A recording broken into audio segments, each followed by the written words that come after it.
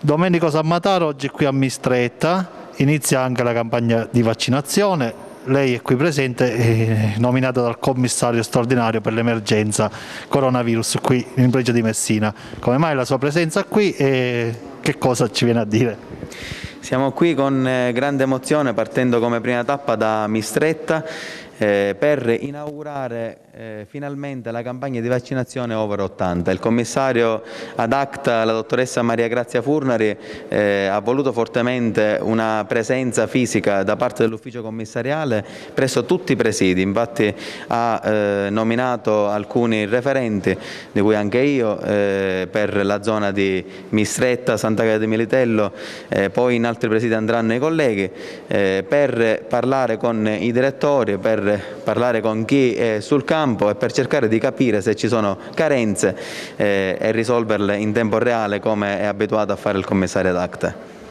Dottore Sant'Angelo, quindi anche qui a Mistretta è iniziata la campagna vaccinale per gli over 80. Come ha risposto la cittadinanza e sono iniziate quindi le vaccinazioni?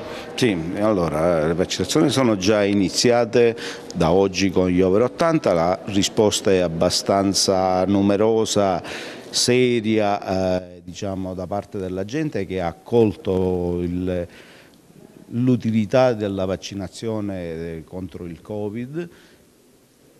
Già abbiamo iniziato oggi con le prime vaccinazioni, già abbiamo sottoministrato più di 40 dosi la, il numero di vaccini che era stato prenotato oggi, per cui stiamo andando ancora oltre perché faremo anche altre persone.